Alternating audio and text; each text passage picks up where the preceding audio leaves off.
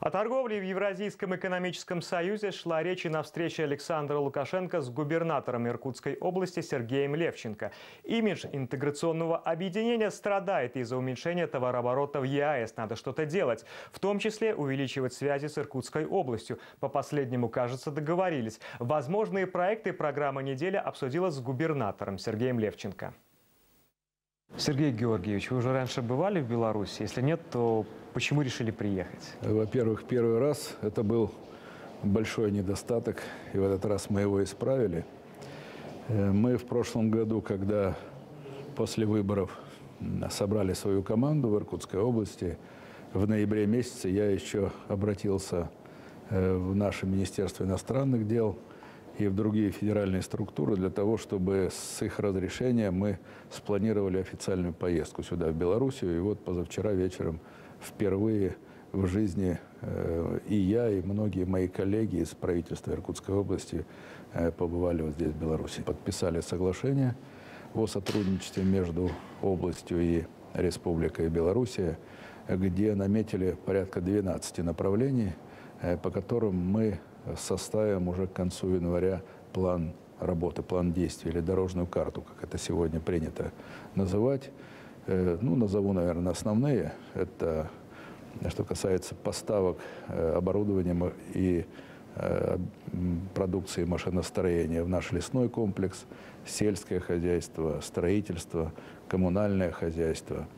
Мы договорились о том, что поработаем над сотрудничеством между нашими научными сферами, особенно в области сельского хозяйства. А какие перспективы могут быть в плане создания совместных предприятий? Вот так просто на вскидку, с точки зрения логистики, э, ну, скажем так, производство лифтов.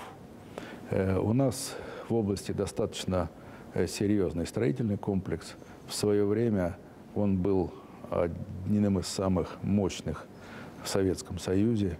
Достаточно вспомнить хотя бы одну из наших организаций, Братсгастрой, которая э, была самая крупная, самая большая в мире. 110 тысяч работающих работало в одной из строительных организаций, строили половину Советского Союза. И сейчас э, мы намечаем большие планы, э, не менее полутора миллионов квадратных метров жилья строить, плюс у нас очень большая задача в капитальном ремонте и реконструкции. Уже существующего жилья, которое эксплуатируется десятками лет. Ну, по крайней мере, э, мы считаем, что э, уже э, нужно делать капитальный ремонт, в том числе и лифтов, порядка 15 тысяч домов.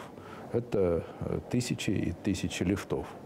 Сегодняшняя схема, логистика, она такова, что из России сюда поставляется все, что касается металла, это вот самой лифтовой шахты, лифтовой кабины. Затем здесь начиняется и снова идет в Россию.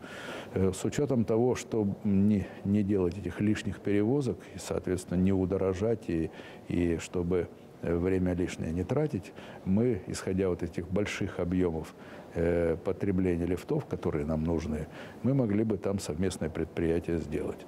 Кроме этого, лесной комплекс. Э, у нас в Иркутской области самая большая в России расчетная лесосека. Мы э, добываем, рубим лес порядка 34 миллионов кубометров в год. Это намного больше, чем во многих других странах. И э, мы заинтересованы в том, чтобы эта отрасль максимально глубоко перерабатывала лес. Не просто кругляк или там пиломатериал какой-то. Поэтому задача мы ставим перед этой отраслью, чтобы глубина переработки была максимальной. Здесь есть э, очень хорошие предприятия, связанные с тем, чтобы изготавливать мебель белорусская, она достаточно известна не только в Беларуси. Это и э, производство ламината, и, то есть продукции близко к конечной. А какие белорусские товары можно встретить э, в Иркутской области? Ну, наверное, много тракторов на полях еще со времен Советского Союза. И со времен Советского Союза, и сегодня наши хозяйства покупают тракторы. Я уже говорил о том, что значит, у нас увеличивается количество сельскохозяйственной техники автомобильной техники, которую мы у вас покупаем. И 6 тысяч километров – это не предел. Э, Россия большая, Э, Мне сегодня приводили примеры э, о хорошем тесном сотрудничестве Белоруссии с Сахалинской областью, которая еще дальше находится от Белоруссии. Там сегодня строится агрогородок, там будет хороший сельскохозяйственный комплекс количеством больше тысячи голов скота. Мы считаем, что мы и у нас э, вполне можем такие агрогородки делать на основе вот такой промышленности производства молока и мяса.